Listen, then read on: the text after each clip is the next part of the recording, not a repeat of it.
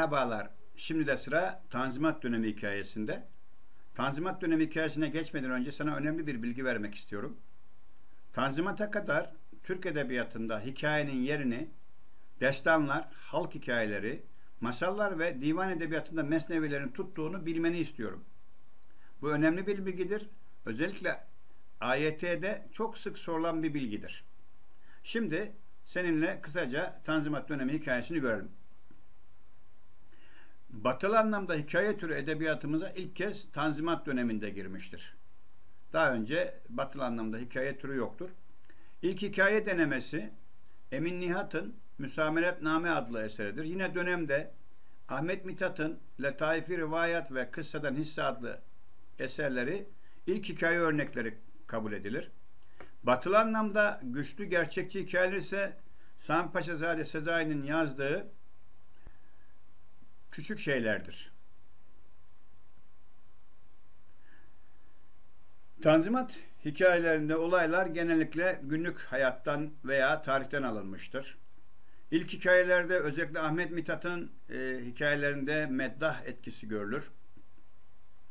Sanatçılar eserleriyle toplumu bilinçlendirmek istedikleri için e, eser, e, sanat toplum içindir görüşüyle eser vermişlerdir.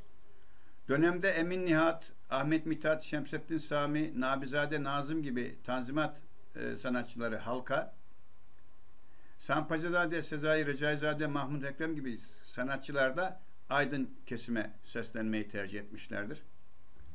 Tanzimat edebiyatının ilk döneminde yetişen sanatçılarda romantizm akımının etkileri görülür. Dolayısıyla bu akımla ilgili bir takım noktalar eserlere yansımıştır.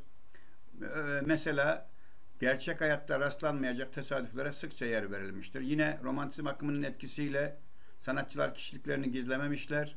Zaman zaman olay akışını keserek okura aydınlatıcı bilgi vermişlerdir. Ee, bu arada Tanzimat'ın ikinci döneminde realizmin de etkili olduğunu söylemekte fayda var. Ee, kahramanlar genellikle günlük hayattan alınmış tipler ancak masalsı e, niteliklere sahip kişilere de yer verildiği görülür. Ee, dönemin konuları genellikle duygusal ve açıklı konulardır. Ee, bu konuların başında tutsaklık, görücü usulüyle veya zorla yapılan evlilikler, bunların doğurduğu acı sonuçlar ve e, yüzeysel batılaşmanın yarattığı olumsuz durumlar ele alınmıştır. Hikayelerde kıssadan hisse çıkarılmıştır. İyiler ödüllendirilmiş, kötüler cezalandırılmıştır. E, Tanzimat döneminde e, sayabileceğimiz belli başlı hikaye sanatçıları Ahmet Mithat Efendi, Sami Pacazade Sezai, Nabızade Nazım ve Şemsettin Sami'dir. Şimdi de dönemin en önemli hikaye ve romancısı Ahmet Mithat Efendi hakkında bilgi vermek istiyorum. E, Tanzimat döneminin en üretken sanatçısıdır. Yazdığı eserlerle halk üzerinde en çok etkisi olan sanatçı halka okuma alışkanlığı kazandırmaya çalışmış ve bunda da başarılı olmuştur.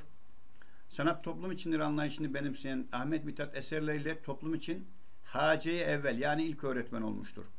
Ahmet Mithat Efendi daha sonra bir bazı sanatçıların izinden gittiği Ahmet Mithat geleneğini de başlatmıştır.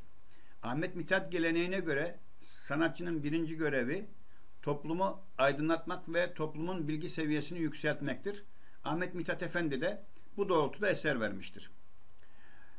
Tanzimat döneminde hiçbir sanatçı Ahmet Mithat'ın yazdığı eser sayısına ulaşamamıştır. O kadar çok eser yazdırmış, yaz, yazmıştır ki yazı makinesi ünvanını almıştır.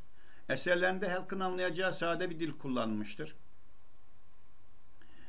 Ee, roman, hikaye, tiyatro, gezi, tarih gibi birçok türde eser veren sanatçı e, eserlerini halkın anlaması için daha sade bir dille yazmış ve Türk Edebiyatı'nın ilk hikayeleri kabul edilen Letaifi rivayatı yazmıştır. Şimdi de Tanzimat 2. dönem sanatçısı Sami Paşazade Sezai'ye ait Pandomme adlı bir hikaye okuyacaksın. Pandomme bireysel bir konuyu işler. Realizm etkisiyle yazılmıştır. Bu hikayeyi okurken gözleme yer verildiğini ve olayın gerçek hayattan alındığında göreceksin. Abartma yoktur. Şimdi de Sami Paşa Sade Sezai hakkında sana bilgi vermek istiyorum. Ee, sanatçı Namık Kemal ve e, Abdülhakamit Tarhan gibi sanatçılardan etkilenmiş. Sanat, sanat için görüşüyle eser oluşturmuştur. Dönemindeki sanatçılara göre eserlerini daha sade dille oluşturan yazarın Alphonse Daudet'den etkilenerek e, yazdığı Küçük Şeyler adlı hikayesi edebiyatımızda batılı teknikle yazılmış ilk küçük hikaye örnekleri kabul edilir. Gözleme yer veren sanatçı eserlerinde küçük sıradan gündelik hayatları çevrenin diliyle anlatmıştır. Pantomime de zaten böyle bir eserdir. Bu eseri okuduğunda gözlem gücünü, sıradan bir olayın ve sıradan bir insanın anlatıldığını göreceksin. Sevgili arkadaşım, Tanzimat hikayesini de ana hatlarıyla gördük. Şimdi 10. sınıf Türk Dili ve Edebiyatı Soru Bankası'ndan çap yayınları ve yine çap yayınları AYT Edebiyat Soru Bankası'ndan e, Tanzimat hikayesiyle ilgili soruları çözebilirsin. Kolay gelsin, başarılar diliyorum.